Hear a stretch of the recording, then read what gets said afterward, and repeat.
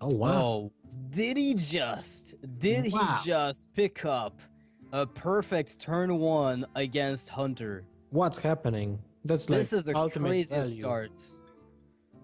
You just play both, right? I think so. Yeah, you just you go full out zombie chow coin innervate Druid of the Flame as a two five. Why would you And- wait? There's no Uh, reason to wait with, with that. You just go w- crazy.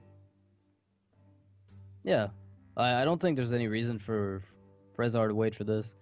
Although he might be considering the later game options, the mid game, you know, where he might want to cast five drops, but I don't think you can afford that because the early game is what matters most against the hunter deck. You can play it five two.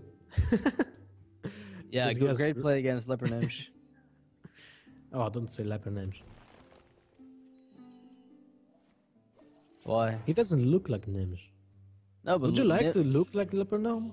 I don't know. Nimsh calls it Leper Nimsh Yeah, I know. because he says like his favorite card.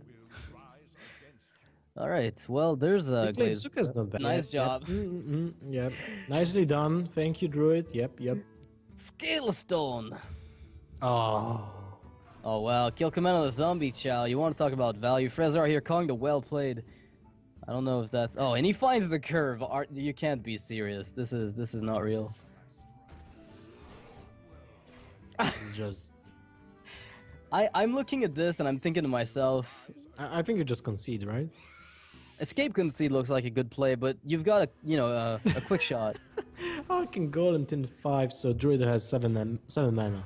Yeah, it's for Doctor Balance to come in on curve or ancient Look, look at look at that top deck. Look, look at that right now. Oh, that's Actually, yes, uh, that's- scenarios. He wild growths, he emperors, and he's this is not real. He gets arcane golem, wild growth, and emperor. Oh, I did, that's one of the first times I see a guy so salty. Like, oh, he, he can't believe it. He's Look at this. Uh, I'm laughing alongside you, Gara. Das ist unmöglich. And he doesn't curve, right? He doesn't curve, of course. He finds a three three drop on the back of Yeah. this. And Yeah. this uh, Cenarius on turn 8 is going to come down to seal the board away from Gara, who will not believe his eyes. This is just the craziest outcome. Just goes for the concede.